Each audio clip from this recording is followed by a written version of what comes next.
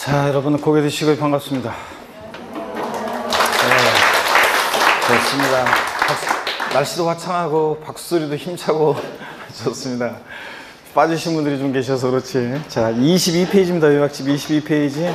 취득세 볼 차례죠, 오늘? 예. 지난 시간에 이 외역집 22페이지 펴놓으시고 취득세 지난 시간에 배운 걸 복습을 한번 해보면요. 조세 초문 공부했죠, 우리? 조세에 의해서는 납부 이행 방법으로서 물납과 분할 납부는 예외적으로만 허용된다고 그랬습니다. 그럴 때 금전 납부 원칙의 예외로서 물납, 허용되는 세금을 꼭 알고 있어야 되는데 상식처럼 지방세에서 물납은 뭐만 허용된다?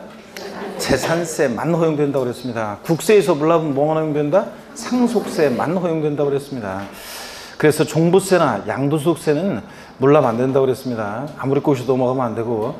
그 다음에 분할납부, 지방세법상으로 분할납부는 재산세 허용됩니다. 근데 지방세법상으로는 법률에는 재산세만 규정이 되어 있어요. 분할납부가. 근데 예규에서 재산세 부가세로서 지방교육세는 분할납부 할 수 있다. 재산세를 분할납부하면서 부가세인 지방교육세도 분할납부할 수 있다. 이렇게 예규가 있어요. 지방세법에 규정은 없고.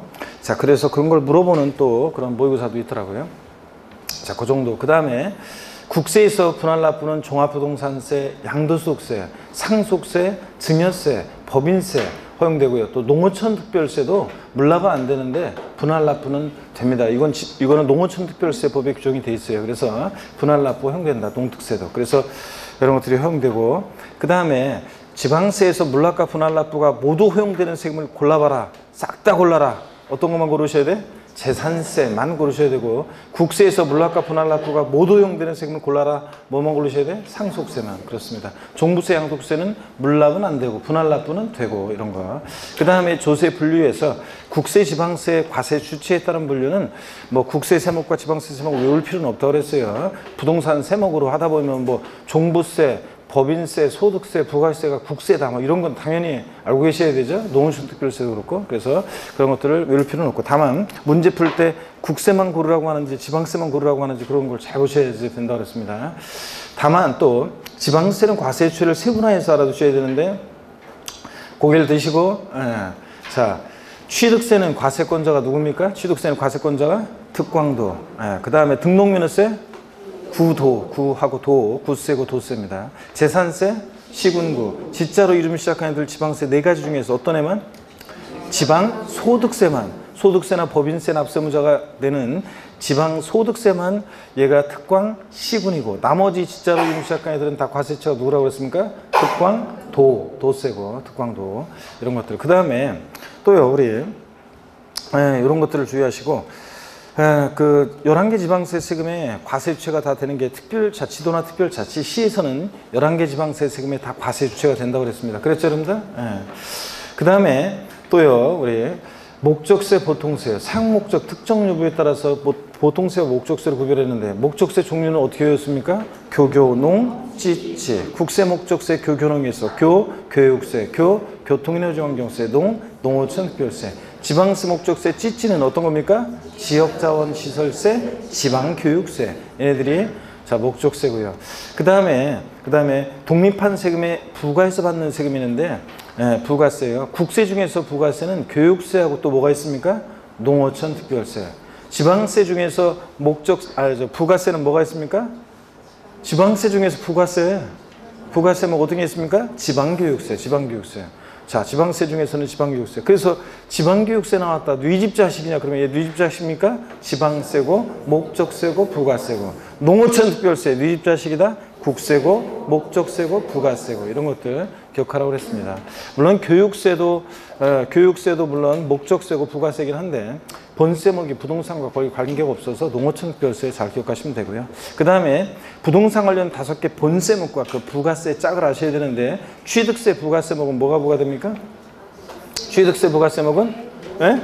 농특세 취득세, 부가세, 농특세, 지방교육세. 감면이 있든 없든 농특세, 지방교육세. 근데 등록면허세는 등록면허세는 어떤 게 자, 부가세로 부과되느냐? 감면받은 게 없을 때는 원칙적으로 뭐만 부가세로 부과된다 그랬어요? 지방교육세만 등록면허세 부가세로서 등록면허세 낼 때 지방교육세도 20% 함께 냅니다. 등록면허세 10만 원이면 2만 원 지방교육세 이런 식으로. 근데 감면받은 게 있으면 지방교육세도 부과되고 뭐도 또 농특세도 부과됩니다.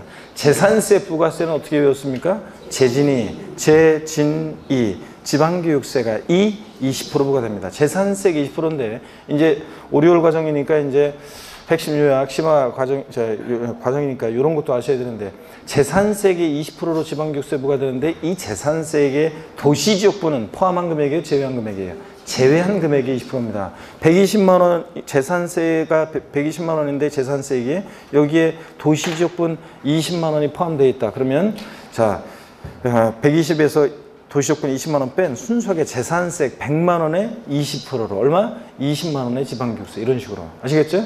도시적분을 제외한 금액이 20%입니다. 재진이 종부세 부가세는 어떻게 했어요?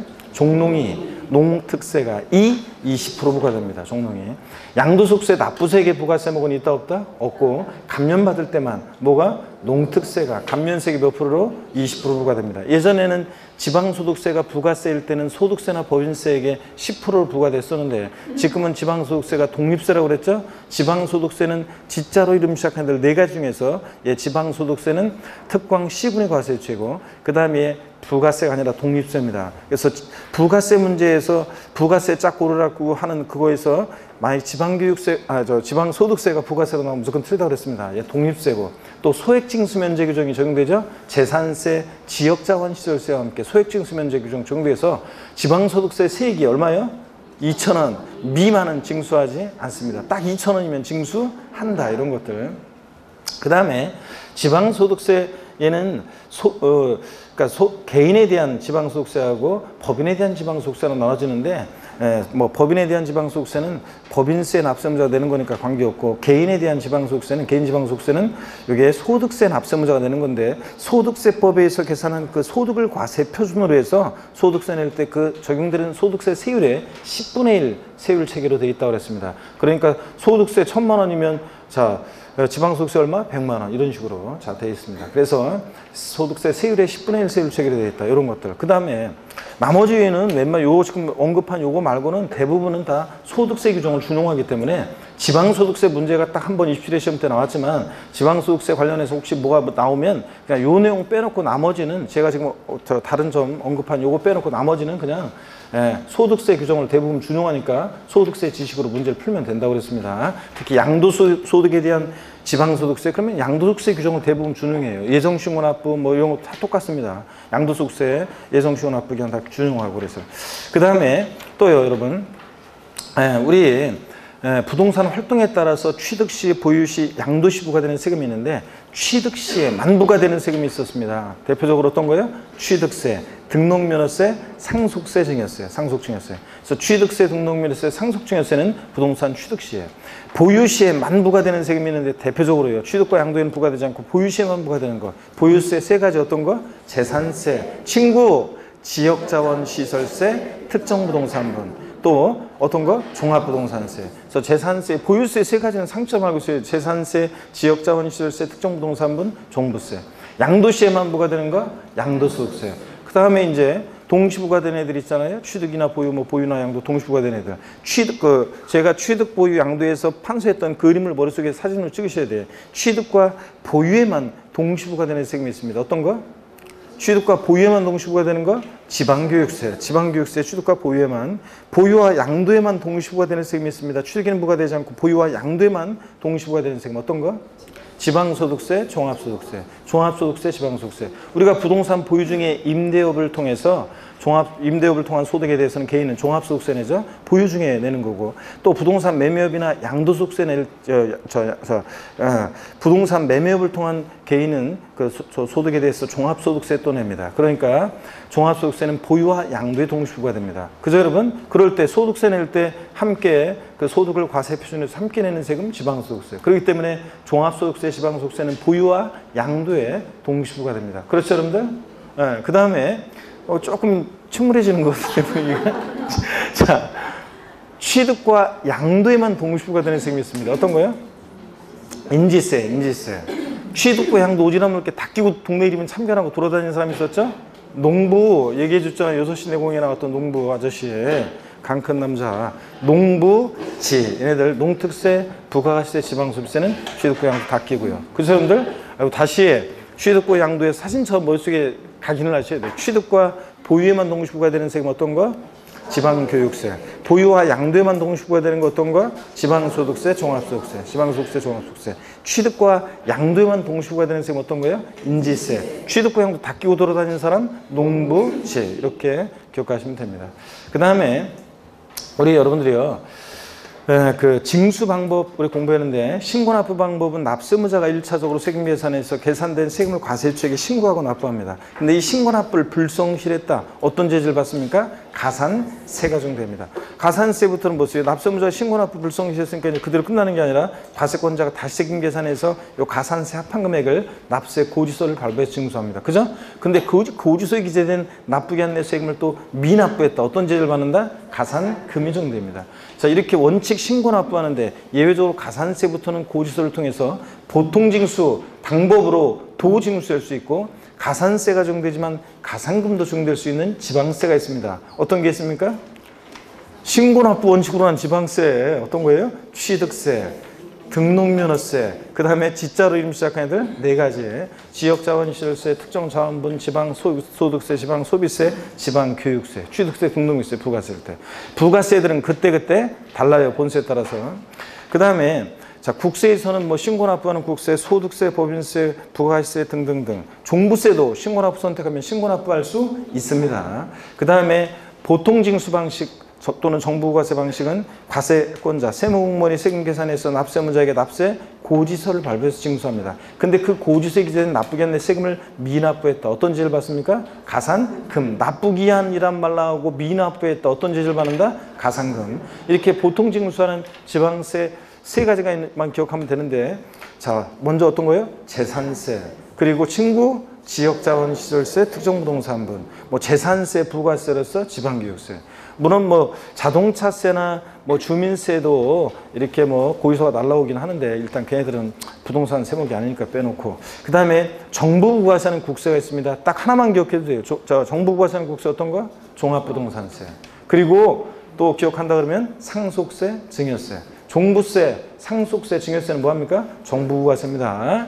고지서를 통해서 징수했는데 종부세는 그러니까 원칙은 정부부가세 하는데 예적으로 납세문자가 고지서 슈팅해 버리고 신고납부 선택하면 신고납부할 수도 있다고 그랬습니다. 자, 그 다음에요.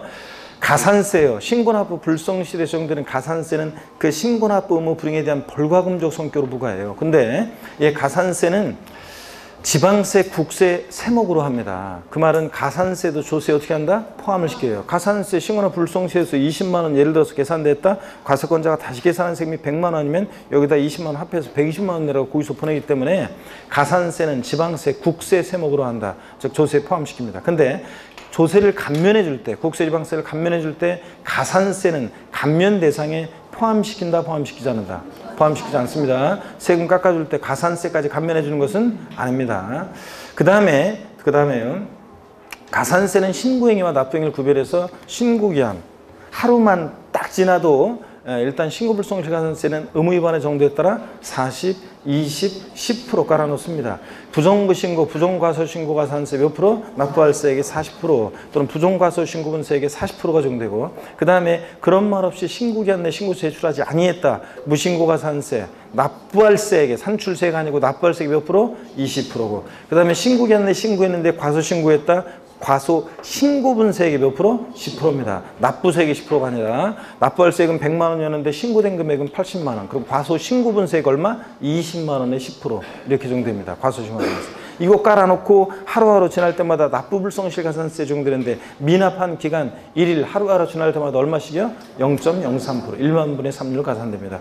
지방세는 특히 납부불성실 가산세가 이 미납부 미달납부한 과소납부한 세, 저 세계 에, 최대 몇 프로까지 납부불성가산세가 가산될 수 있다? 75%까지 가산될 수 있다. 그 다음에 또요, 가산금은, 가산금은 고지서를 통해서 징수할 때 나쁘게 안내 미납부했을 때 제때 납부하자는 것에 대한 연체 이자적 성격으로 부과합니다. 가산금. 그런데 가산금은 조세에 포함해야 안 해요? 안 합니다. 가산세에는 가산금이 포함되어 있지 않고요. 자, 가산 금의 기초가 되는 가액에는 가산세가 포함될 수도 있지만 가산 금에는 아, 가산금은 조세에 포함시키지도 않고요. 자, 그다음에 가산금 고유세 기준 나쁘게 한 하루만 딱 지나도 체납세액이 몇 프로? 3% 일반 가산금 깔아놓고 그 다음에 하루하루 지날 때마다 에? 아, 한달 후로 아닌데 납기 후 매 1월 한 달씩 지날 때마다 몇 프로씩? 1.2% 1천분의 12 1.2%씩 중과 상금 적용되는데 끝까지 버티면 몇 개월? 60개월에 한해서만 적용됩니다. 사람들이 요거는 잘 기억하더라고. 60 몇 개월까지 중과 상금 적용되냐? 60개월. 아, 요거는 하여튼 잘 기억하시더라고요. 60개월까지. 그래서 5년이죠? 그러니까 1, 년 12달로 하면 5년까지 이렇게 중과상금 적용됩니다. 60개월에 한해서 중과상금 적용되고. 네, 그 다음에 또 왜요? 자, 60개월까지. 그 다음에 중과상금 그러면 체납세액이 최대 몇 프로까지 적용될 수 있다? 1.2 곱하기 60이니까 체납세액이 최대 중과상금이 몇 프로까지 최대 적용될 수 있어요? 72%까지 체납세액이 72%까지 적용될 수 있고 일반가상 3%가 합치니까 가상금 체납세액이 최대 몇 프로? 75%까지 적용될 수 있다고 그랬습니다. 그 다음에요. 그 다음에 또 보시면 가상금 예 에, 같은 고지서에 있잖아요. 아니요, 아니요. 그 전에 중가상금이요. 중가상금 지방세는 체납세액이 얼마 아, 미만일 때 적용되지 않는다? 30만 원 미만일 때. 국세는 100만 원 미만일 때 중과상금 적용하잖아요. 그러면 그러면 체납한 지방세가 딱 30만 원이면 중과상금 적용할 수 있다 없다? 있다는 거. 30만 원 빼고 아래 금액에 대해서 중과상금을 적용하지 않으니까 30만 원 이상부터 30만 원부터 국세는 100만 원부터 중과상금 적용할 수 있습니다. 이상부터. 그 다음에 국가나 자체에 대해서는 가상금에 관한 규정은 적용한다 안 한다? 안 하고 또 그 재산세 고지서에 지역자원시설세가 병기 고지되어 있다. 이럴 때 중과상금 30만 원 미만인지 판단할 때는 어떻게 판단해요? 합산해서 판단해 따로따로요. 세목별로 따로따로 판단합니다. 그 다음에 또요 여러분들이요. 우리 납세문은 추상적으로 성립하고 그 다음에 구체적으로 확정이 되고 소멸하는 과정을 거치는데 아 요거 하기 전에 면세점 빼먹었네. 취득세는 면세점이요. 취득세 산출세액이에요. 취득가격이에요. 판단 기준이 취득 가격이 삼수액이 아니라 취득 가격이 얼마요? 50만 원 미만이 이하예요. 이 과세하지 않습니다. 취득 가격이 딱 50만 원이면 취득세는 과세하지 않고 그 다음에 면세점에서 면적 나왔다 몇 제곱미터? 면세점에서 면적 나오면 330제곱미터. 금액 나왔다 얼마? 1억 3,500만 원, 1억 3,500만 원 이하는 과세하지 않고요. 그 다음에 또 어, 우리 그 다음에 이제 그 주민세 일부가 그렇습니다. 면세점 적용되고요. 그 다음에 소액징수면제요. 재산세 또 어떤 애가 소액징수면제 적용돼요? 지역자원시설세. 또 어떤 애가 소액징수면제 규정이 있어요? 지방소득세. 재산세, 지역자원시설세, 지방소득세가 소액징수면제 적용되는데 얘네들 세액이요. 얼마요? 2,000원 미만은 징수하지 않으니까 딱 2,000원이면 징수한다. 이런 것들 우리가 배웠습니다. 그 다음에 납세의무는 추상적으로 성립하고 구체적으로 확정이 되고 소멸하는 과정을 거칩니다. 그죠 여러분들? 그럴 때 어, 여기 이 동네 짝 어디 갔어 짝? 짝들 다 어디 갔어요? 병원 갔어요? 짝 어디 갔어요 짝? 없, 뭘, 어디 갔는지 모르고? 없어요. 원래 짝이요 혼자. 아, 어, 원래 있, 없었어 여기 있었는데 누군가? 이름. 아 일로 왔는데 어, 병원 가고 아 그렇구나 그차 어 그래서 그 자리 좋은 자리 그냥 혼자 딱 저 독차지하고 계신 거예요? 아 잘했어요 선풍기도 갖다 놓고 아주 공부할 수 있는 만반의 준비를 갖추셨구만 잘했어요 하여튼 예. 하여튼 뭐 짝다리를 짚, 짚으시든 뭐뭐 껌을 뭐 씹으시든 아, 물론 너무 소리가 크면 안 되겠지만 껌을 씹으시든 뭐 선풍기를 틀으시든 어떻든 간에 수업할 수 있는 최소한의 아니 그러니까 최대한의 자기 그 공부하기 좋은 그거로 고- 저 수업을 들으시면 됩니다. 자, 여러분, 저 보세요. 납세문 추상적으로 성립하는데 그 성립식이 세목별로 다 다르잖아요. 취득세는 언제, 어느 때 납세문 성립한다? 취득하는 때. 사적 들어가면 안 된다고 그랬어요. 등록에 대한 등록면세는 등기 등록하는 때. 전도 아니고 후도 아니고. 그 다음에 재산세, 지역자원시설세, 특정부동산분, 종부세, 납세문 성립식이 똑같습니까? 네, 같습니다. 언제입니까? 과세 기준일. 매년 언제다? 6월 1일. 과세 기준일이 먼저 나와야 돼요. 그리고 6월 1일이고. 그 다음에 주민세 일부도 과세 기준에 납세금 성립하는데 제3분 주민세는 어느 때 납세금 성립하냐? 과세 기준일. 아니 7월 1일 먼저 나오면 안 돼. 과세 기준일인데 어느 때입니까? 7월 1일. 재산세들하고 다르다는 거. 그 다음에 주민세 균등분도 과세 기준에 납세금 성립하는데 에, 요거 8월 1일이고 균등분 주민세. 여러분 집으로 거기서 날라오는 주민세. 그 다음에 종업원분 주민세는 뭐 모르셔도 됩니다. 종업원에게 급여 지급하는 때인데 모르셔도 되고. 그 다음에 또요, 여러분. 지방소득세는, 지방소득세는 어느 때 납세금 성립하느냐? 지방소득세는 그 과세 표준이 되는 소득에 대하여 소득세나 법인세 납세금 성립하는데. 그러니까 지방소득세는 소득세법이나 법인세법에서 계산한 그 소득을 과세 표준으로 해서 약 10분의 1 세율로 적용해서 부과되기 때문에 지방소득세는 그 과세 표준이 되는 소득에 대하여 소득세나 법인세 납세금 성립하는데 예, 지방소득세 납세금 성립하고 소득세, 법인세를 머릿속에 떠올리시면 되고요. 그 다음에 여러분요. 지방교육세, 농특세 얘네들 부가세들은 그때그때 달라요. 납세금 성립 시기도. 그래서 농특세 어느 때 납세금 성립한다? 본세 납세금 성립하는데, 아 부가세는 본세 따라가죠. 본세 납세금 성립하는데, 지방교육세는 표현이 좀 달라요. 지방교육세는 어느 때 납세금 성립하느냐? 예? 그 과세 표준이 되는 세목의 납세금 성립하는데, 부가세의 과세 표준이 되는 세목이면 본세를 얘기하는 거예요. 그 과세 표준이 되는 세목의 납세금 성립하는 때 지방 어, 교육세 납세금 성립합니다. 농특세, 본세 납세금 성립하는 때고. 그 다음에 여러분요. 그 다음에 어, 상속세 같은 애들은 상속 등기하는 때 납세금 성립합니다. 그죠 여러분들? 상속 등기하는 때. 아니에요? 상속 개시되는 때예요. 피상수준 돌아가시면서 역사 시작되죠? 그 다음에 또요. 그 다음에 또 여러분 증여세는 증여세는 증여 계약일에 납세금을 성립합니다. 증여 계약일 맞아요? 아니죠? 증여세는 증여에 의해서 재산을 취득하는 때, 증여에 의해서 재산을 취득하는 때. 근데 증여 계약일 이렇게 바꿀 수 있고, 그 다음에 소득세, 법인세, 부가세 얘네들은 어느 때 원칙적으로 납세금 성립한다? 소득세 어느 때 납세금 성립한다?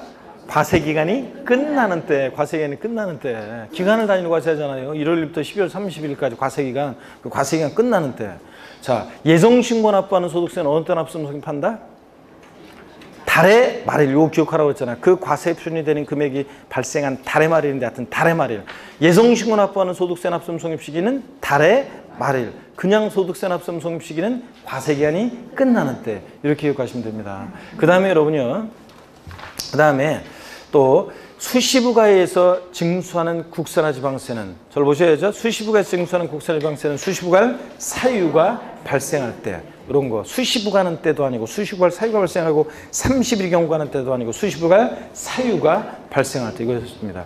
그 다음에 특별 징수하는 지방소득세는 특별징수하는 지방소득세는 원천징수하는 소득세나 법인세 때 특별징수하는 지방소득세는 원천징수하는 소득세나 법인세 때인데 사업주가 근로소득세 원천징수하면서 지방소득세 함께 특별징수해서 지자, 어, 저 관할세무서에 내잖아요. 자 그런 거. 그 다음에 기억하시고 자 성립한 납세는 추상 이제 확- 구체로 확정이 되는데 납세금 확정이란 말을 보면 항상 누가 세금 계산하냐? 신고 납부하는 세금들은 원칙적으로 누가 세금 계산한다? 납세무자가 세금 계산하는데 어느 때 구체적으로 확정이 돼요? 신고하는 때 확정이 되고 그래서 납세무자가 원칙 납, 과세금과세액을 과세권자에게 신고하는 때 납세무 확정되는 지방세가 어떤 거냐? 어떤 겁니까? 취득세, 등록면허세, 지자로 이름 시작했는데 네 가지 소득세, 법인세, 부가세 뭐 등등등 종부세도 신고 납부 선택하면 신고하는 때 확정될 수 있고 그 다음에 보통징수나 정부과세하는 세금들은 원칙으로 과세권자가 납세금 확정하는데 어느 때 확정이 된다? 결정하는 때 확정됩니다. 원칙 과세권자의 결정하는 때 납세금 확정되는 지방세 어떤 게 있습니까? 재산세, 친구, 지역자원시설세, 특정부동산분, 재산세, 부가세로서 지방교육세. 국세에서는 종부세, 상속세, 증여세. 얘들은 결정하는 때 확정됩니다. 정부과세하는 애들. 자, 그 다음에 확정된 납세물은 소멸하는 과정을 거치는데 소멸, 사유, 납부, 충당, 부가권의 철회예요, 취소예요.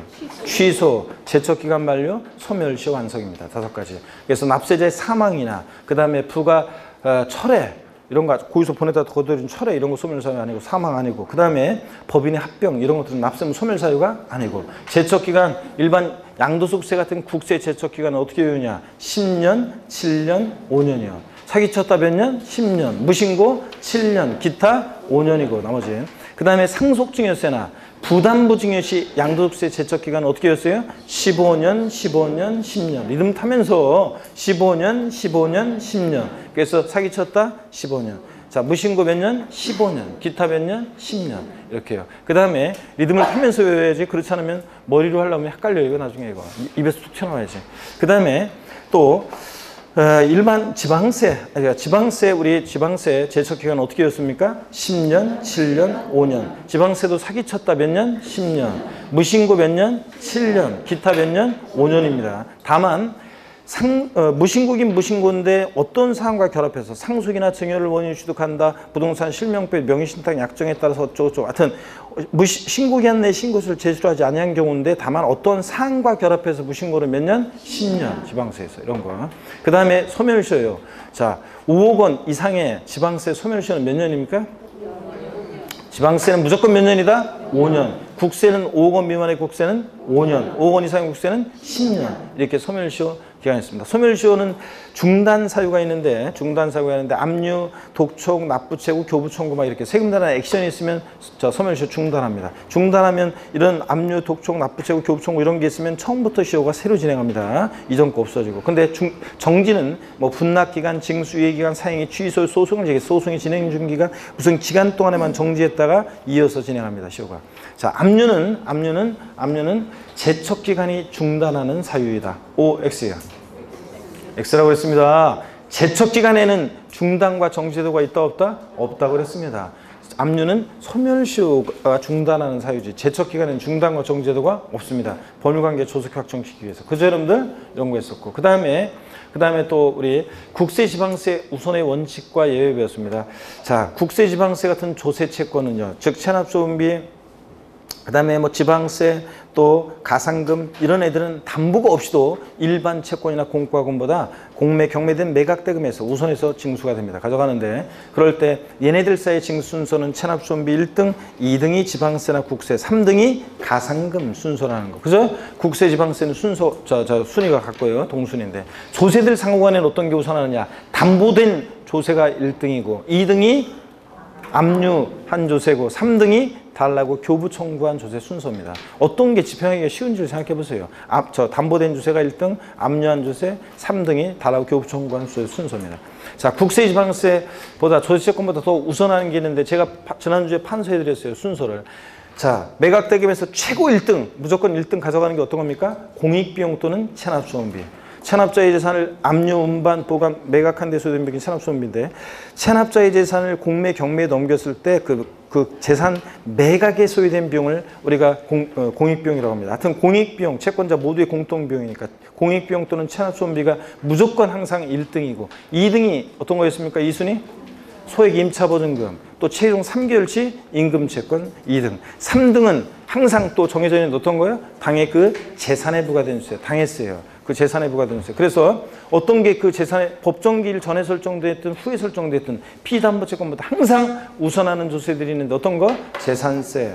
그 다음에 지역자원 항상 친구 지역자원 시설세 특정부동산분 그 다음에 재산세 부가세로서 지방교육세 그리고 보유세 또 어떤 거 있어요 종합부동산세 어, 자동차세도 그렇지만 제가 뺐고요 재산세 지역자원 시설세 특정부동산분 재산세 부가세로서 지방교육세 또 종부세 또 어떤 거 있습니까 상속세 증여세 보유하는 재산 상속 증여가 된 재산에 부과되는 얘네들은 항상 설정 일정 관계없이 예, 피담보 채권보다 얘네들이 당해세들이 우선합니다. 그 다음에 이제 4등, 5등, 6등은 따져봐야죠. 법정기일, 그러니까 신, 법정기일이라는 것은 조세 채권과 피담보채권세 우선 여부를 정하는 날인데 그럴 때 신고 납부하는 세금은 신고일, 고지서를 통해서 징수될 때는 고지서 발송일을 우리가 법정기일이라고 합니다. 그쵸 여러분들? 점점 이제 처음엔 좀 따라하더니 점점 나 혼자 복습하고 있네. 아 진짜. 아이고, 아이고 목 땡긴다. 물물 한 잔 마시고. 아이. 자 여러분 봅니다. 그래서 법정기일 전에 저당권 등이 설정됐을 때 그 담보되는 피담보 채권은 예, 국세지방세보다 어떻게 한다? 우선합니다. 그럴 때는 4등 피담보 채권 바로 뒤따라다니는 애가 있었죠. 그 다음에 일반 임금 채권. 최종 3개월분을 제외한 나머지 임금 채권, 일반 임금 채권. 얘가 5등이고. 그 다음에 6등 국세나 지방세. 7등 맨 꼴등은 항상 일반 채권이나 공과금이고요. 그죠 그러면 그 다음에 자 만약에 법정기일 후에 저당권 등이 설정됐다 그러면 그러면 4등이 어떤 겁니까? 국세 지방세. 법정기일 후에 저당권 등이 설정되면 피담보채권은 조세권보다 후순위잖아요. 그래서 그럴 때는 국세나 지방세 4등, 5등이 피담보채권, 6등은 항상 뒤따라다니는 애두고 일반임금 채권. 그 다음에 일반 채권이나 공과금 항상 꼴등이고 그 얘기가 여러분 나- 나와 있었잖아요. 예. 권리구제에서는 이의신청이든 심사청구든 심판청구든 행정소송이든 다 그 부당한 조세에 관한 부당한 침해가 있으면 만날부터 언제까지 청구해야 돼요? 90일 청구해야 합니다. 90일. 근데 다 청구 기간은 90일이고. 그 다음에 나중에 결정으로 들어가면 이제 숫자 좀 뒤집어 주긴데 어떡하냐 그런 거. 그 다음에 이 신청이라는 것은 그냥 반드시 거쳐야 되느냐 그런 건 아니라고 했습니다. 임의적이에요. 이 신청 절차를 거치지 않고서도 심사 청구나 심판 청구를 바로 구할 수도 있고요. 근데 꼭 잊으면 안 된다는 거. 심사 청구와 심판 청구는 중복 청구가 된다 안 된다? 안 된다는 거. 이런 것들을 기억하셔야 되겠습니다. 아이고 오늘 복습이 의외로 길어서요. 예, 여러분들이 호응을 쫙쫙 해줬으면 한 10분은 더 단축할 수 있었는데요. 예, 22페이지입니다. 이제 그 이걸 아, 다음에 해야지 그런 것보다는 지금 이제 핵심 역 과정에서는 확실히 정리하고 저 외우고 이렇게 가셔야 여러분들. 네. 22페이지 우리 이제 드디어 지방세에서 우리 취득세입니다. 자, 펴놓으시고 여러분들 자 보시면은 우리 취득세는 취득세는 자 취득세는요 우리 취득세는 예, 세, 서너 문제가 출제가 되는데 예, 한세 문제 정도 뭐 출제 예상하시면 되겠고요. 뭐 네 문제 나올 때도 있고요. 예, 자 그러면 취득세 어떤 것들을 공부하냐 그러면 우리 취득세 성격이요. 자 이런 것들은 뭐 편하게 한번 또 보시면서 취득세 과세 대상 어떤 것을 취득했을 때 부- 부과되는지, 취득세 누가 납부할 의무자가 되는지, 자 취득세 납세 어, 그 전에 취득세는 취득에 부과하는 세금이니까 취득이 뭔지 취득의 에, 개념과 그 유형 있잖아요. 어이, 조금 자 취득세는 어, 또 취, 취득의 개념과 취득세는 취득의 개념과 그 다음에 취득세 취득이 뭐냐 그 개념과 유형이야. 이런 것도 어떤 게 취득에 해당되는지 이런 것들. 이 부분은 뭐 독립한 문제보다는 종합 문제 속에서 이렇게 잘 나오고 있습니다. 자, 그래서 종합 문제 잘 나오고 있고 이거 기초 과정부터 계속 적어드렸던 건데 여러분들. 그 다음에 또 취득세에서 취득세에서 에, 자 취득세 납세무자 누가 되느냐. 이 납세무자는 뭐 시험에서 이거 나온다고 그랬잖아요 올해 제가? 예, 나온다고 그랬고 이거는 시험에 나오는 거고. 그 다음에 취득세에서 또 우리 에, 세금 계산 어떻게 할 것이냐 과세 표준 어떻게 일정되고 과편 그 다음에 몇 프로 세율이 적용되는지. 자 이거는 뭐 무조건 나오는 부분이고요. 취득세 과세 표준은 뭐 시험에 예, 자 독립화 문제로 나오고 종합 문제 속에 나오고 나오고요. 세율은 뭐 무조건 나오는데 몇 문제 나오냐가 문제라고 그랬습니다. 그래서 과세 표준과 세율은 무조건 나오는 부분입니다. 무조건 나오는 부분이고. 그 다음에 취득세 세금 계산했으면 돼야죠. 납세지를 어디로 하고 그 다음에 자 취득세 신고 납부하는데 예, 그 관련한 얘기도 시험에 나온다고 생각하시면 된다고 그랬습니다. 자 그래서 취득세 납세 절차도 무조건 나오는 거고요. 그 다음에 어떤 경우에 취득세는 비과세 되느냐 뭐 이런 것들은 비과세 부분은 뭐 독립한 문제보다는 종합 문제 속에서 지문 한 줄씩 생각하시면 되겠습니다. 그래서 이런 것들을 테마로 해서 우리 취득세 선호 문제 출제가 됩니다. 교재를 보시면 여러분요. 예. 먼저 22페이지 요약집 봅니다. 보기 전에 보기 한번 드시고요. 목 운동부터 한번 하겠습니다. 좋습니다. 22페이지를 보시면 자 취득세 01번 테마 취득세 개요입니다. 취득세 과세 유치는 특광도입니다. 특별시장, 광역시장, 도지사고 단 시군구가 위임 징수하고 있는데 특별자치도나 특별자치시도 당연히 11개 지방세 세금의 과세 유치가 되니까 뭐 당연한 거고 하여튼 특광도 이렇게 기억하시고요. 취득세는 취득 행위를 보고 부과하는 행위세고 유통과정에서 부과되는 유통과세는 세금입니다. 누가 이런 거 줄 긋고 있어요. 이런 거 당연히 그냥 그런가 보다 이렇게 해야지. 아 진짜 행위세 이런 거는 시험에 안 나와요 학자들이 쓰는 표현이라 그냥 그런가 보다 이렇게 하면서 읽고 지나가야지 이런 것까지 줄곧 고르면 나중에 진짜 중요한 것도 어떡하려고 자 물세입니다. 취득세는 자 지방세 주요 세개 세목은 물세잖아요. 물건별로 각각 어떻게 한다? 개별 과세입니다. 그래서 취득세는 납세무자 인적상 고려하잖아요. 개인이 취득하든 법인이 취득하든 똑같고요. 그 다음에 취득하는 물건별로 각각 개별 과세입니다. 합산하지 않고. 사실주의 과세, 자 우리 기초과정부터 중요하게 배웠습니다. 주요 부동산 세금들은 등록면허세 빼놓고는 다 사실주의 과세합니다. 그래서 등기되지 않아도 등록되지 않아도 허가받지 않아도 과세가 됩니다. 그 다음에 현황부가 저 취득 일 현재 공부상 현황과 사실상 현황이 다르면 무엇에 따라서 사실상 현황에 따라 과세하고요. 징수 방법 원칙 신고 납부합니다. 02번 테마 별표 시, 자, 두 개 합니다, 여러분들. 자, 취득세에서 취득이 뭐냐? 자, 취득의 개념과 유형이야. 별표 두개 하시고요. 자, 보겠습니다. 02번 테마 별표 두개 하시고. 박스 안에 보니까 취득세는 취득에 부과하는 세금인데 취득이라는 게 뭐냐? 그러면 우리 기초과정부터 배웠습니다. 한마디로 취득세 취득이 보다 사실상 소유권 취득이다. 자, 그래서 취득세는 취득이란 사실상 소유권 취득이다. 즉 사실상 취득만 하면 되는 거죠. 등기 등록과 관계없이 사실상 취득하는 경우에 과세가 됩니다. 그래서 취득세 취득이라고 하면 민법 등 관계법령 규정에 따른 등기를 이행한 경우에 하나한다. O, X? X입니다. 등기와 무관하게 사실상 취득만 하면 되고요.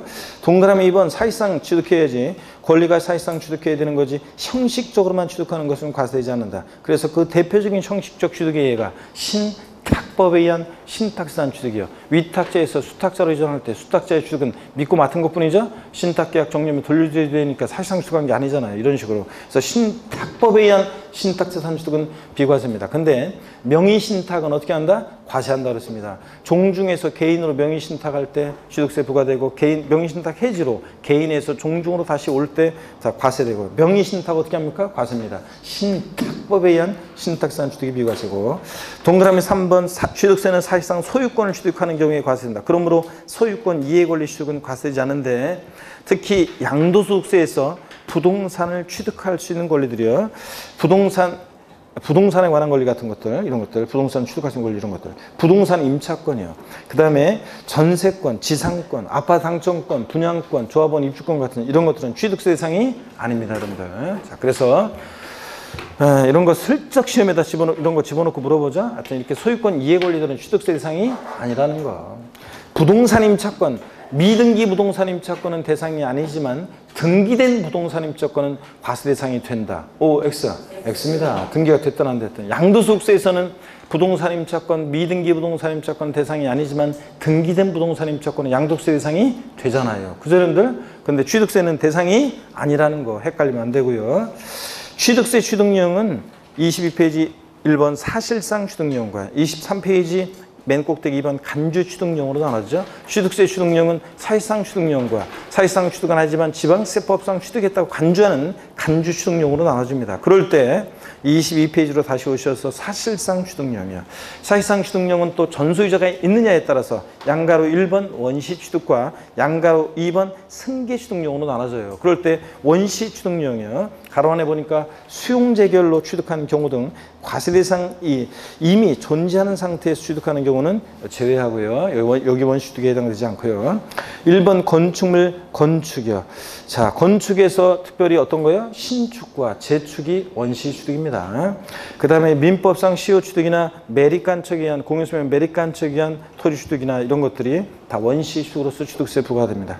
다만 원시 취득에 과세되지 않는 경우가 있습니다. 다만 차량 기장비 항공기 주문에 건조하는 선박이야. 다 머리 글자 딱 X 저뭐 따서 이렇게 밑줄을 거져 있고 색깔도 틀리게 딱 돼 있죠. 어떻게 외웠습니까? 차, 기, 항, 선 얘네들은 원시 취득은 과세한다 안 한다? 안 하고 승계 취득할 때만 과세합니다. 현대자동차 같은 데서 자동차를 원시 취득 만들었을 때 거기다 대고 취득세 딱 부과하면 자, 어, 자동차 가격에 취득세 부과받은 만큼을 반영해 소비자들에게 전가시키잖아요. 그러면 우리 소비자들은 자동차를 현대자동차로부터 승계 취득할 때 취득세를 내고 자동차 원- 애초에 가격에 반영되어 있는 취득세를 또 내게 되는 이중과세 문제도 생기고 수출 경쟁력 떨어지기 때문에 차기 양선의 경우는 원시 취득 과세한다 안 한다? 안 한다는 거. 승계 취득만 과세한다. 자, 그 다음에 승계 취득령은 자, 대가 지급 여부에 따라서 유상 취득과 부상 취득으로 나눠지는데 유상 취득 매매, 교환 자, 법인의 현물 출자 다 취득세부가 됩니다. 특히 교환은 금전 예지상 것으로 맞바꾸는 건데 거래 양당사자 모두에게 취득세가 과세될 수 있다. 이거.